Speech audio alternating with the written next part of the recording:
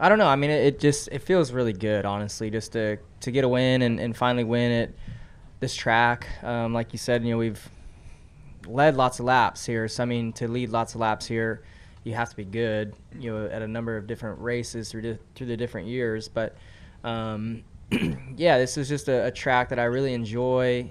Suits my style, and um, you know, just haven't haven't won yet here. So it was good to uh, to do it today. You know, I knew we were gonna have a a good car. We just didn't qualify as good as we had hoped, and honestly drove through the field way better than I thought that I would. And um, they did a really good job on the you pit sequences to cyclists in front of people, and then from then on, you kind of just try to manage your race. And um, Denny was really good too, so he was going to be hard to beat without his you mishap. But uh, once whatever happened to them happened, you kind of opened the door for a few more guys to, to possibly win, and you we kept ourselves in the game enough to uh, to get it done. You know, I got in the wall some point in the third stage, and then um, you kind of had to nurse it to the next pit stop, and then things just worked out. Your team executed when we needed to. And then the second question for both of you guys is that this is now win number 299 for Hendrick. 300 is up next. How important would it be for you guys to be the ones to get that milestone?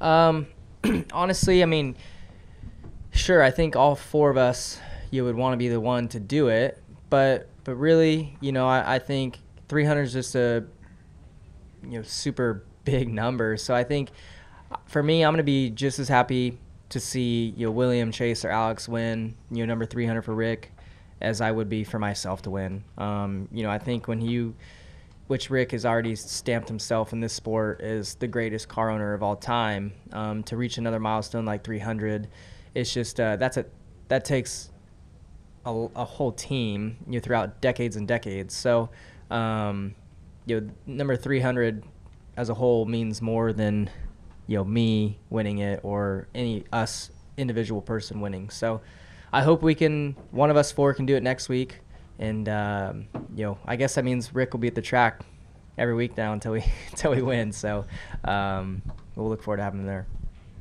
Yeah, well said by him, and I, you know, I would just add that um, when, when, you think about the Hendrick 300 wins, you think about the 90, however many from Jeff, and the 80 something from Jimmy, and, and all the people that, you know, with Rick built our company and the history that it is. So I, I agree with him. I don't.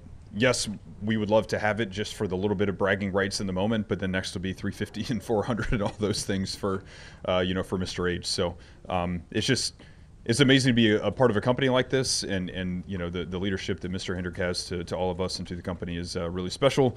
So to get that for him would be uh, be pretty awesome. thank you, Pete. Uh, hey, hey, Pete Iacobelli with the Associated Press. Um, for both of you, another company question. Uh, it could have been a little disappointing around the shop when Chase and Alex don't get into the playoffs, but yet, you know, you guys come out here, you win William finishes fourth. It's a strong start for, you know, wherever you guys are going to wind up in this uh, chase. That's got to say something about the resiliency and, and what the the direction of, of this program is. Yeah, no doubt, and, and all four teams are working really well together uh, right now. And the one thing that I would would add, because we were in this position last year, the nine team is still very well in in the playoffs for the owners, you know, championship was a huge deal to Mr. H. Um, I know that Chase and Alan are going to fight tooth and nail to make that happen, and, and I know they had a good day today. Um, so so there's a bit of you know uh, I don't know excitement around that. You know, having three cars in, and uh, Alex was well on his way to a top ten or maybe even a top five finish tonight. Alex had a great race going, and, and he and Blake have been working really hard this year. So. Um, yeah, the way we're all working together and, and the way Mr. H, you know, just keeps keeps it on the rails and, and keeps us going. It's uh, it's a lot of fun. Trent. Trent with French, Trent Worsham with FrenchRace.com. Uh, kind of going off of what you said about working well together with everybody. Um, you mentioned coming back. Uh, he mentioned uh, coming back from deep in the field to win this race, and William Byron also had a deep starting position and was able to come through the field and for a great position as well. Um, how much information is actually shared between you guys now as a team? You know, with with this being the playoffs and you guys also wanting to win it for yourselves, uh, but you still have teammates doing it as well. Yeah, we um, we have so many meetings every week where um, the crew chiefs are together and, and we talk through, you know, setups and strategy. The drivers are together; they talk through, you know, car sensations and and you know what what expectations are for the next race of, you know, how to execute the race or whatever it may be. Um, and, and it's really the culture that Mr. H wanted to create. He wanted to create a culture where, uh, you know, we, we were very um, open and honest with each other, and, and we have some pretty private, you know, conversations as far as that goes. But it's it's the four teams together, you know, the four drivers, four crew chiefs, everybody working together. Um, and, and I truly believe without that strength of, of all of us being together and working together, um, you know, we wouldn't be as competitive as what we are. It, it takes all of us to keep it going. So, uh, yeah, it's, it's cool to be a part of. Go next to Dustin. Uh, Dustin Long, NBC Sports. I have a question for both of you on that uh, the situation at the last pit stop, and I want to ask for, from Kyle your perspective is what did you see with with Reddick and then with Harvick going down pit road in that moment? I know you, there was a lot going on and you pulled off, but can you take me through it from your point of view? And Cliff, how much uh, was that a game changer of, in its essence, eliminating Harvick? and then it's just you know between you and the 45 and who can win off pit road. Um, for me, was Harvick leading right then? Did he just get to lead? Yeah, Reddick was first. That's what and I thought. Harvick was second, and Harvick was called to pit road, and then Reddick was told to come down, and he, I guess, said he missed it because of the late call because they were trying to react to Okay. Harvick. Yeah, so from from my vantage point, you know, I was fourth, and um, yeah, I mean, Harvick was really good that run and was close to Reddick, and then you know I saw we got the call. They called me into pit, um, and I seen you know Harvick and William both pull down, so I was just gonna follow them. It looked like Reddick was just you know gonna have to pit the next lap. You know, got caught late, but. Um, then as I was pulling down, you know, I saw I think Newman spinning, so I was like, uh, I think I need to stay out. So I stayed out, and um, thankfully it worked out. I guess William was able to get back out um, before you know, committing to pit road. But I'm guessing Harvick, you know, being the you know so close, I, he probably didn't have any time to react to it, and um, yeah, took him out. I mean, he would know more about what happened, but uh, for me, yes, it was pivotal because I went from now fourth to second in line, and then you, you have a good pit stop, you come out in the lead. There's 40 some laps left. You hopefully you can lead the rest of the race, and that's what happened. So um, yeah, it worked out for us. Yep, uh, pivotal, like you said. I mean, if we're being honest with ourselves, I think there was four or five cars that had they gotten the lead, you know, it's going to be hard to pass. Like, I think if we'd gotten in front of Denny, it would have been really hard for him to pass this. Harvick gets the lead. I don't think anybody passes him. I, I think the top four or five were very, very equal together. Um, you know, just in the way the track position was kind of staging itself. Uh, so to your point, to have one less of those cars was was nice. Obviously, hate the miss fortune for those guys. Always enjoy racing with Rodney and Kevin, but uh, that was a big deal because it set us up to be second coming down pit road, have a good pit stop, come out with a lead. Um, you know, and then there's still a couple of good cars behind us, just not quite as many.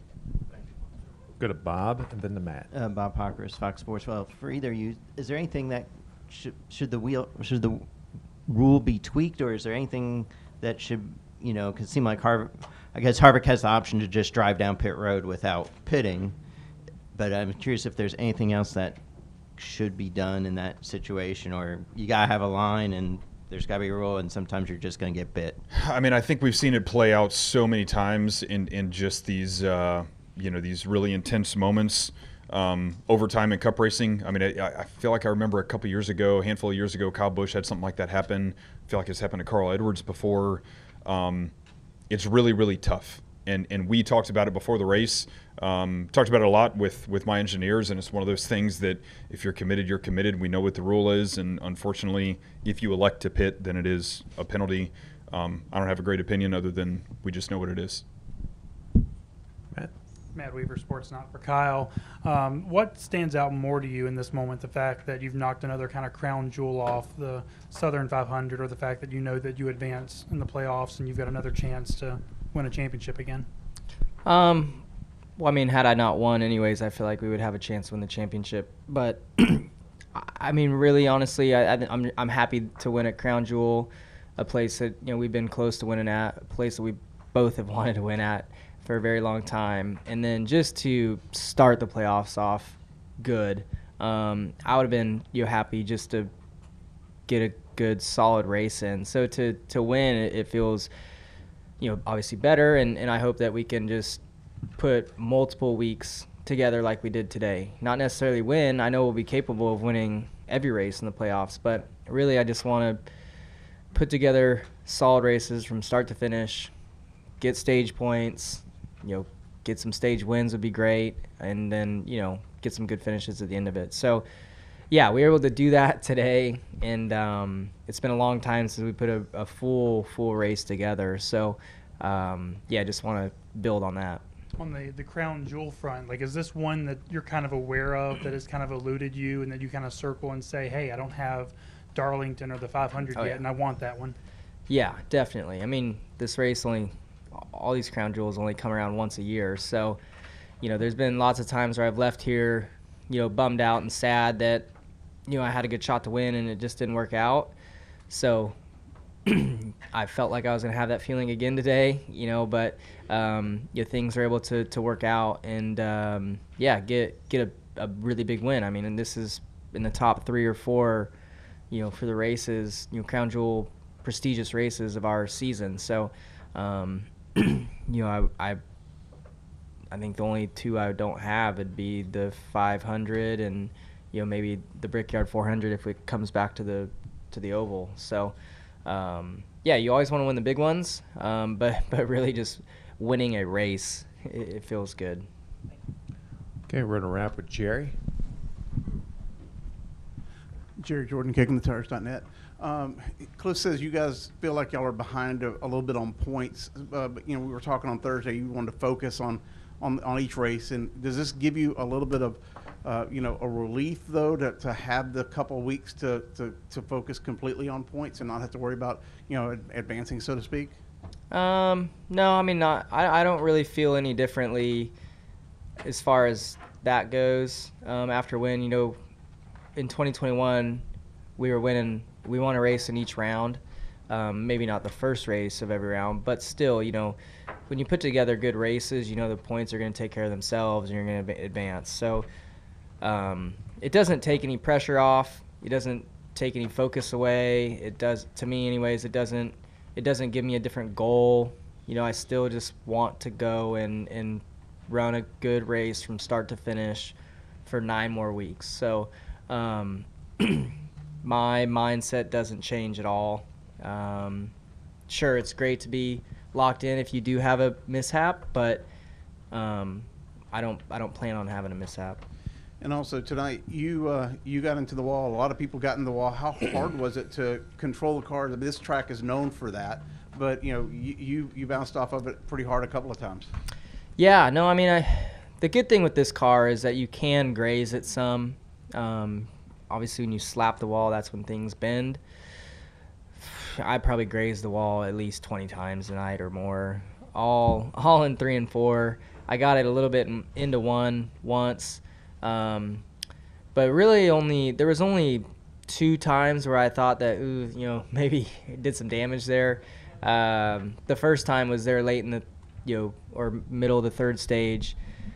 I just uh, I just didn't get a clean enough downshift, and it kind of hung into neutral between fourth and fifth, and stayed there for quite a while, and then it finally dropped into fifth as I was like closest center of the corner and went to fourth, and then I was I was just lower off of the wall, and when you're lower, you when you're I watch you know broadcasts all the time, and people are like, you know, just give it some room, you know, just get off. You, know, you don't have to run right next. Well, it you have a lot less grip when you don't run right next to the wall. So I was a little bit off the wall because I had made the mistake on entry, and then by the time I got to fourth, it was already sliding, and then I you know slapped the wall, and then that's when I lost a bunch of time. So um, I'm sure it's bent a little bit, but uh, thankfully you know not not broke, and we were able to to finish and, and still get a win.